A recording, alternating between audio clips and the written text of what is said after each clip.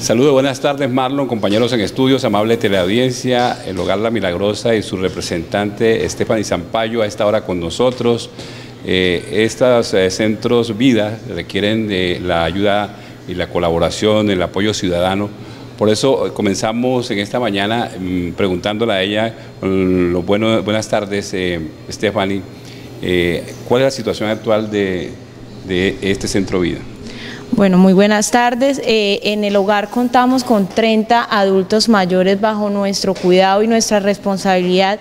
Aclaramos que algunos cuentan con rol de apoyo que es su familia, pero la mayoría de los abuelitos que están en nuestro hogar no cuentan con ayuda y el único rol que en este caso seríamos nosotros. Hacemos un llamado a la comunidad de Barranca Bermeja para que se solidarice, para que llegue a nuestro hogar y a los distintos hogares que están en Barranca Bermeja y lleguen a hacer este, esta solidaridad llevando útiles de aseo, eh, alimentos no perecederos, proteína. Sabemos que la situación está dura en todos lados y que los alimentos cada día suben más, pero realmente necesitamos de la ayuda de todos ustedes para que nuestros adultos mayores puedan seguir mejorando su calidad de vida en estos sitios que son los hogares. Recordemos esas ayudas en qué consisten.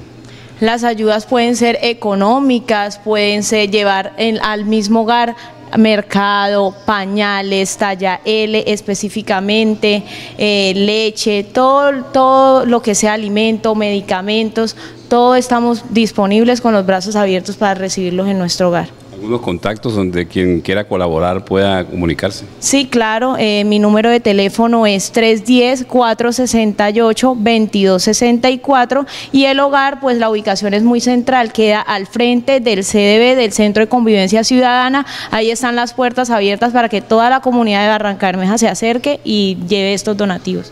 Muy bien, este es el recorrido que iniciamos por estos centros vida, estos hogares de adultos mayores y estaremos visitando otros que también requieren de la ayuda de todos ustedes. Con la cámara de Libardo Rueda, un informe de Pedro Severiche, continúen con más noticias.